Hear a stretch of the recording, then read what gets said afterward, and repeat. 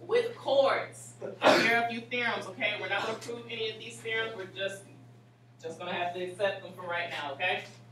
But we could if we wanted to. Um, in the same circle, or in congruent circles, two minor arcs are congruent if and only if their corresponding chords are congruent, okay? So if you have two chords that are congruent, we talked about chords, they're segments whose endpoints are on a circle. So if they're congruent, that means that their arcs are also congruent. So that means that AB and BC are congruent to each other. Does everybody understand that? The same measurement? Uh, same length? Yeah. Me? Yeah. If the diameter of a circle is perpendicular to a chord, perpendicular means what? Ninety degrees. Then the diameter bisects the chord and its arc. Bisect means what? Split in half, and what's special about those halves? They're equal. So if a, um, a diameter is perpendicular to a chord, that means that these two segments are equal and the chords themselves are equal as well. Okay? DG? Uh-huh. Chord, No, R, uh, DE is a chord and FE are a chord. DG is an arc and GF is an arc. So the chords and their arcs are congruent.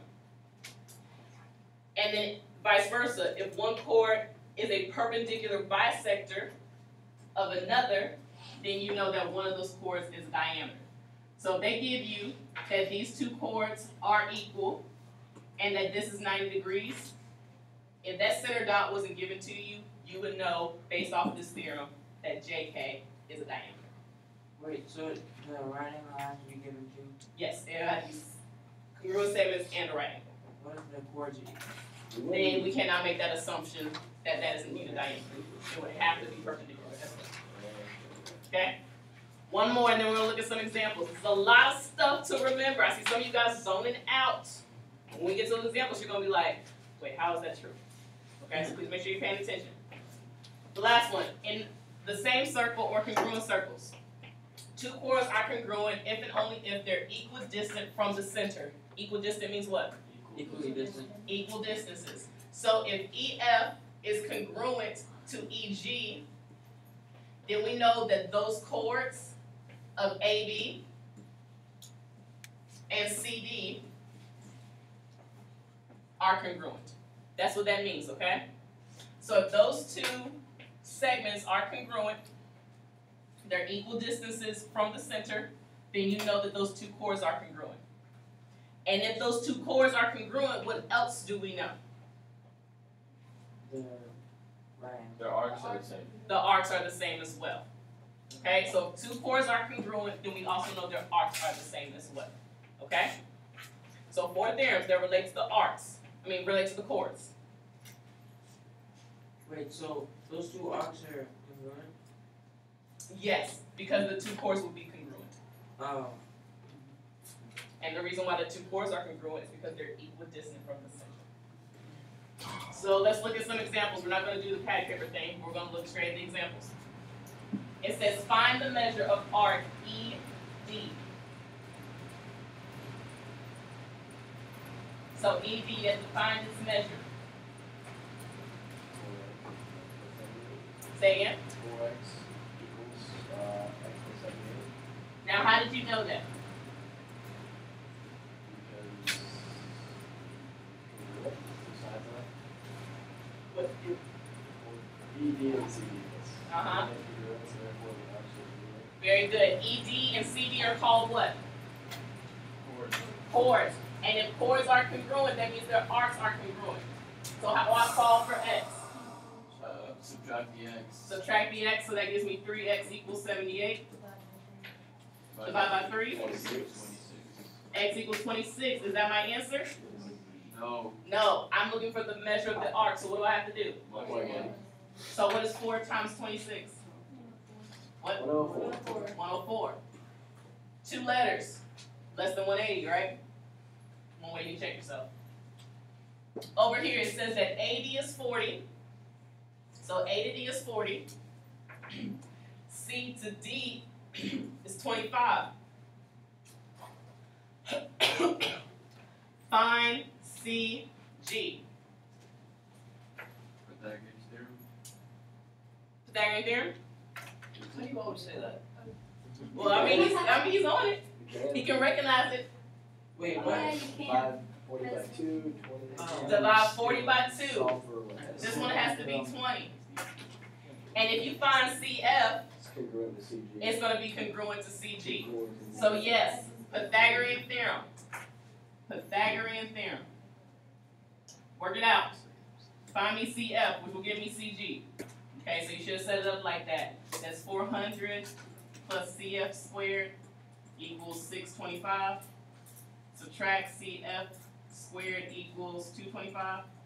So then the square root of that would have been fifteen. So CG is fifteen. It- No, it's very possible to be a, um, a decimal. But we just know that this triangle is called a what? Pythagorean triple. Pythagorean triple. They're all whole numbers. Those are really nice. I. Okay? Let's keep looking. Uh, we did this one.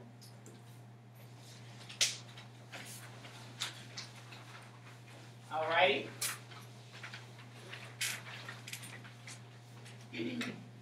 Find the measure of arc M N. From Yep. center or, oh, just kidding, never mind. Can I use the whole central angle thing? No. No, why not? It's not centered. because it's not at the center, okay? But I do know that my diameter is perpendicular to a chord. And my diameter is perpendicular to a chord, what does that mean? The chords Are. congruent because it's a bisector. And if this is congruent, what about the arcs? They're congruent. So if RP is seventy-four, PN is, so that kinda helps me out a little bit to find MN. Oh, now it's just one eighty minus seventy-four. Now one eighty, how'd you get one oh six? You, you No. subtract it from three sixty. You subtract these two angles from three sixty. Since this doesn't go through the center, it's not cutting the circle in half. So I- Doesn't, it doesn't go through some? Cause C is the. Oh, you're right, you're right, you're right, okay. Um. So two twelve, Divided by two, and then you divide by two. still one oh six. So one oh six? Yes. Well, that works out. Will it always work out that way? No. So let's not assume. So wait, how did you guys get one oh six? Cause I got one six. You divide by two. No, no, no, how did Wait. they get one oh six using the one eighty and not the three sixty? Uh, cause one eighty I think it's just because the numbers aren't like Yeah, they're not too corresponding with the size of the Right. circle in the line, it's just there. They, they did one eighty minus seventy-four, and it just so happened that it ended up being the same. It will not work out and that way every time. If you wanna try, by all means, go ahead, go ahead, and I'll be ready with my pen, do minus one, okay? So you can only do it when you go to the middle. Yes. Over here. I'm gonna find MN for number fourteen? Double one forty-seven subtract three sixty. Very good. Why do, why do I need a double one forty-seven? Because that is all the way from the top point, that's just that one side. One angle. Because the arcs are congruent. Yes. And you know that because Uh, quotient right. chords are congruent. So three sixty Sixty-six. Minus four, one forty-seven minus one forty-seven is sixty-six. Good stuff. Take a minute, figure out fifteen. Using what you know, you know is forty-eight, these two are congruent.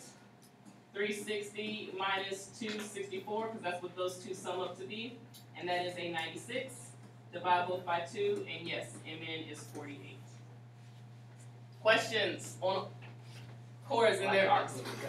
Because that, when you put, you take a line through it, it usually cuts in half. True. That's hybrid. That won't work every time. It does in this case since these are kind of like divided into equal parts. We're good? Yes, Why don't you divide two with fourteen? two and fourteen. Ah, because we already know that this segment, this segment already taken care of, so only this is with that little segment. Un- unlike this one where we have two segments that are left over to equally have the remaining threes. Last few, it says P is the center of the circle. Use the given information to find x, y. And then explain your reasoning. Explain your reasoning, so that means you just gotta justify why you say it is what it is. So z, y is three, what's x, y? Three, Three, they have. Which mean what? They're congruent. to the congruent. But how do you know their chords are congruent? There's not, there's not a theorem that says that if the angles are congruent, the chords are congruent. There's a theorem that says if the angles are congruent, the arc is congruent.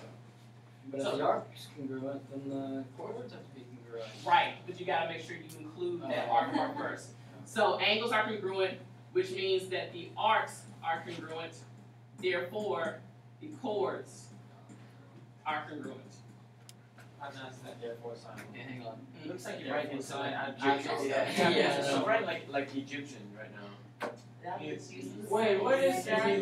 What is So that? it says the angles are congruent, the arcs are congruent, Therefore. therefore the chords are congruent. I knew what that I meant. see. Oh, you that's use a it all the time. comma. I see. Oh, if I, if I can Wait, shorthand, whoa. trust me, I will shorthand. Dot looking thing? I see- Therefore. I see angle equals unibrow equal sign over unibrow equal sign bowling ball. Chords equal sign. Let's look, let's look over here. I haven't gone bowling so long, like we said bowling, I was like, bowling ball, oh yeah, you stick your thumb in the two fingers. ZY is six, and XW is four. Wait, yes. Can we do Pythagoras theorem? Yep, we could do Pythagorean theorem, because if this is a ninety degree angle, you know this is ninety degrees right here. And if ZY is six, what's ZW? Two, three. Three. I know XW is four, so I can find XY by doing Pythagorean theorem. Nine plus sixteen equals twenty-five, x is, x, y is five. XY is five. This is also one of your Pythagorean triples, so you know you can also look for that. You guys work out 18, find XY. I need to find the length of XY, so take a minute, figure out XY. Here we go. So, how'd you get six? We'll see, oh, um, Cause I guess. A, A, C, C, CB is congruent to AC, so that's three. And Chords are congruent, so very good. XY would have to be six. I thought we were trying to explain how x, y equals five on the number seventeen, or no, we already. Isn't that, isn't Well, P good job.